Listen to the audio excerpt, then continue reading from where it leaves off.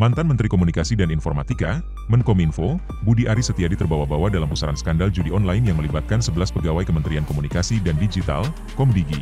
Diketahui, 11 pegawai Komdigi, dulu Kominfo, dengan jabatan tak strategis itu ditangkap polisi dan telah ditetapkan sebagai tersangka karena diduga melindungi ribuan situs judi online yang seharusnya mereka blokir. Terbaru, Budi Ari angkat bicara soal video yang beredar bernarasi penggeledahan di Ruangan staf khusus, staf sus, mantan Menteri Komunikasi dan Informatika, Menkominfo. Dikutip Tribun dari wawancara bersama anggota DPR RI fraksi Pan Uyakuya, Budi Ari menjawab video yang viral di media sosial tersebut. Hari ini heboh penggerbekan katanya di ruangan staf sus. Tadi saya lihat di akun Instagramnya Ahmad Sahroni. Langsung aja kita puterin, jika tahu Uyakuya, Uya lalu mengutip unggahan video di akun Instagram Ahmad Sahroni.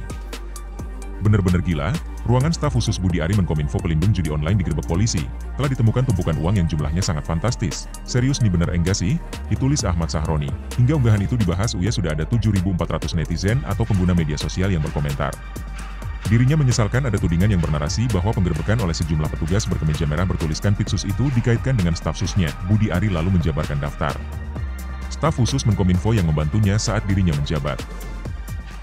Download Tribun X sekarang. Menghadirkan lokal menjadi Indonesia.